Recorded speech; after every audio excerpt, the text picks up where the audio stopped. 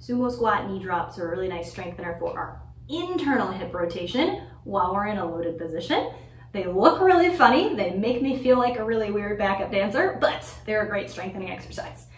For this drill, we're gonna start in a sumo squat. That's feet nice and wide, toes angling out about 45 degrees, hips sinking low, chest lifted as high as you can. From this position, we're gonna lift our heel on one foot so that we can rotate this foot. Keeping my hip bones pointing forwards. I'm gonna start to rotate that knee down towards the floor, dropping my thigh forwards, or even turning it internally as much as I can. I'm gonna bring that knee back out to the side, drop the heel, do the same thing on the other side.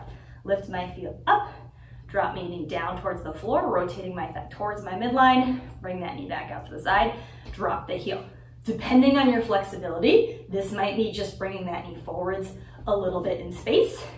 If this is a challenging range of motion, if you have a lot of internal hip rotation, that knee might come down quite a bit, but I wanna make sure those hip bones don't start to rotate to turn this into a lunge. Your challenge is keeping those hip bones facing forwards the whole time, even while that knee is coming towards the floor. So don't let your hip bones move. Rotating your hips is gonna change the stretch.